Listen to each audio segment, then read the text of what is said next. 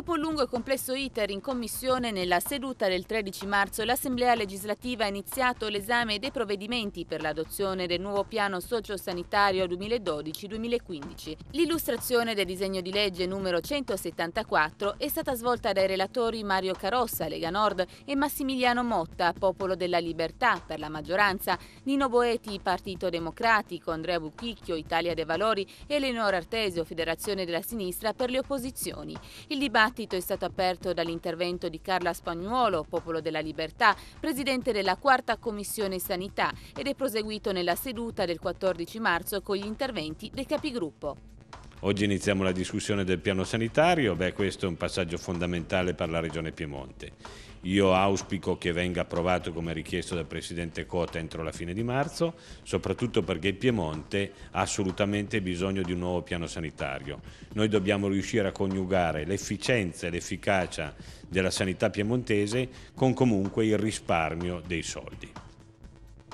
Dopo una piccola parentesi che è data dalla Giunta Bresso ci troviamo di fronte a parlare di nuovo di piano sociosanitario, una riforma strutturata sia nell'ambito della geografia sia nell'ambito del riordino delle competenze, con quello che è comunque il riordino dei conti e comunque anche l'ambito degli acquisti, della logistica e di quant'altro. Sicuramente importante, abbiamo perso cinque anni nella scorsa legislatura, ma sicuramente noi questo piano sociosanitario lo vediamo nell'ottica di eh, una riforma rispetto rispetto alle nuove esigenze del territorio e delle, dei cittadini.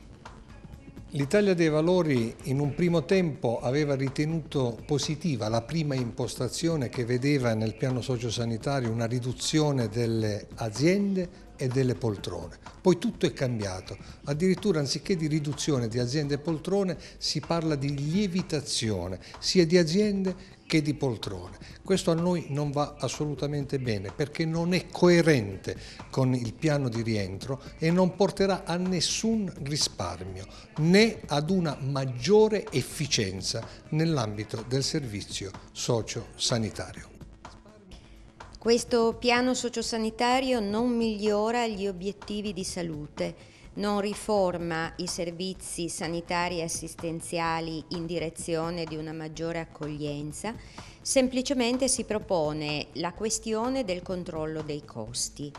Una questione di controllo dei costi a cui si pensa di eh, produrre un miglioramento attraverso l'organizzazione delle federazioni sanitarie. Ahimè, queste federazioni sanitarie comporteranno soprattutto la nomina di nuovi direttori generali.